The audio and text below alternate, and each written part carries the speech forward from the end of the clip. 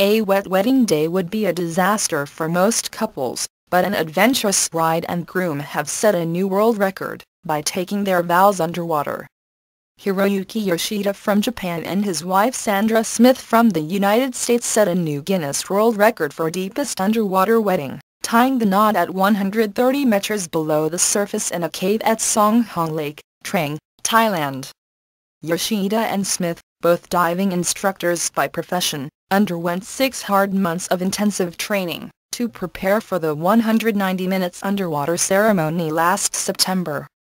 The wedding party saw friend and fellow diving instructor Ben Reymenants act as Yoshida and Smith's ordained minister, while cave divers Pekka Hartikainen and Charles Hosner acted as best man and second witness respectively, Guinness said in a statement. The most difficult part of the ceremony proved to be the ring exchange. To protect the platinum rings from a slip of the fingers they were knotted into a safety spool clipped onto Pekka for safe transportation. Once at 130 m, Pekka passed the end of the line off to Hiroyuki, unwinding Sandy's ring tied into it. Despite being deep underwater in a cave breathing off closed-circuit rebreathers, the groom did get to kiss the bride. The pair threw their breathing apparatus upwards, and turned heads so they could kiss.